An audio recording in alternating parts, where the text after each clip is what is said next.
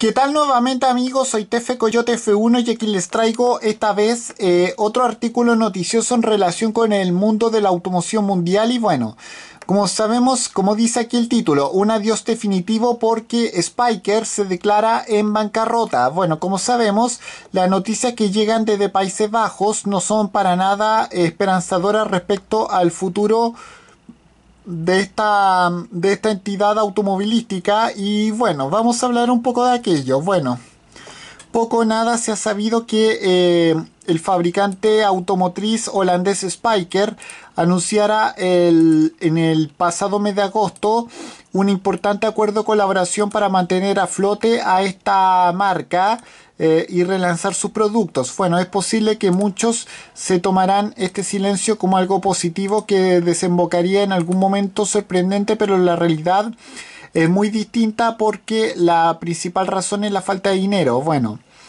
eh, al parecer, según dicen desde el medio RTL News, eh, esta, esta entidad automovilística neerlandesa no tuvo más remedio que declararse en, declararse bancarrota. Este es un giro dramático de los acontecimientos porque Spiker eh, había, había dicho que el acuerdo al que se hacía referencia con el empresario eh, Boris Rottenberg y su socio comercial eh, Mikali Pesis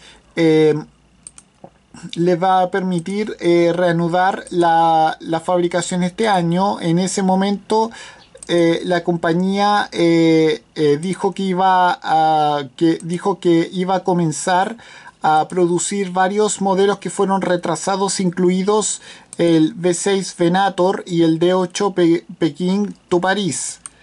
bueno, em, cuando se anunció la sucesión, la mismísima Spiker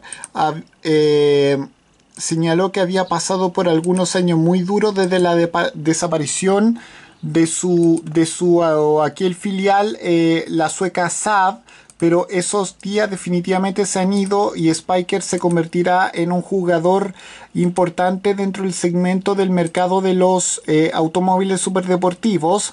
Sin embargo, nada de eso ocurrió y la entidad eh, automotriz holandesa parece que está en peor situación hoy en día el mencionado eh, medio ha tenido la oportunidad de hablar con el director ejecutivo Víctor Müller, quien aseguró que el dinero no ha llegado y por tanto todas las actividades de Spiker se, han, eh, han cesado, incluida su... Eh, incluida también su sitio web oficial por lo que parece. Bueno, si la inyección de capital, según eh, las informaciones que llegan precisamente desde Países Bajos, o sea, Holanda.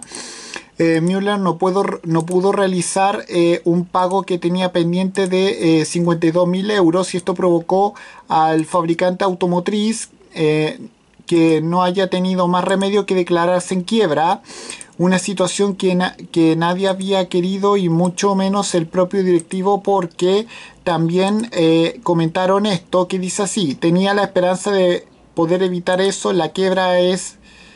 La quiebra era lo último que quería. Bueno, y va a resurgir. Bueno, llegado a este punto, eh, uno podría. Eh, uno podía. Eh, uno podría quedarse en el pesimismo y olvidarse para siempre de esta empresa automovilística, pero el ejecutivo no se rinde porque aún tiene esperanza en el futuro porque considera que la posibilidad de que Spiker reciba una inversión es totalmente alta. Esto no se acaba hasta que la señora Gorda cante. Eso es lo que dijo el mismísimo Müller. Hay que estar atento a las próximas eh, noticias acerca de, acerca de que una de que una entidad automotriz que se dio a conocer con el modelo C8, eh, el cual era un super deportivo con otro motor central trasero que, que utilizaba eh, que utilizaba el mismo eh, la misma unidad de potencia tipo V8 del Audi R8 que era de 4,2 litros. Y con esto me despido. Adiós que me fuera chao